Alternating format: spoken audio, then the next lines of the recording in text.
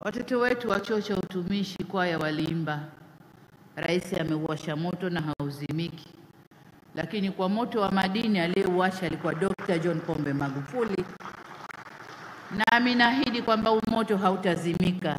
Nimeupokea na ninakwenda nao.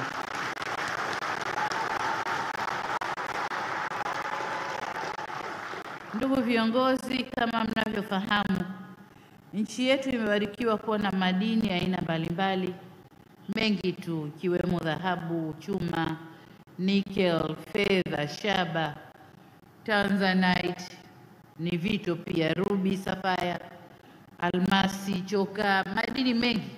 Na leo nimesikia kwamba mchanga wa pwani pia nao una madini na una kazi ya kufanya.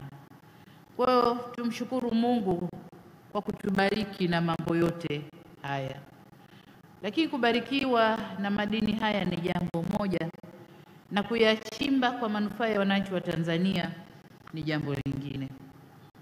Ili kuhakikisha wenye rasilimali hizi ambao ni wananchi wa Tanzania wananufaika nazo, serikali iliamua kufanya mabadiliko makubwa ya sheria zinazosimamia sekta hii ya madini ili kuipa nguvu serikali kumiliki rasilimali hizi kwa niaba ya wananchi na kwa, na kwa maslahi mapana ya taifa.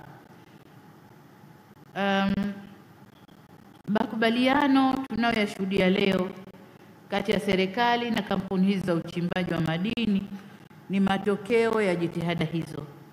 Lengo ni kuiwezesha serikali kuwa na ubia chini ya kampuni moja itakayoendesha shughuli za uchimbaji wa madini kama joint venture company baina ya mwekezaji na serikali.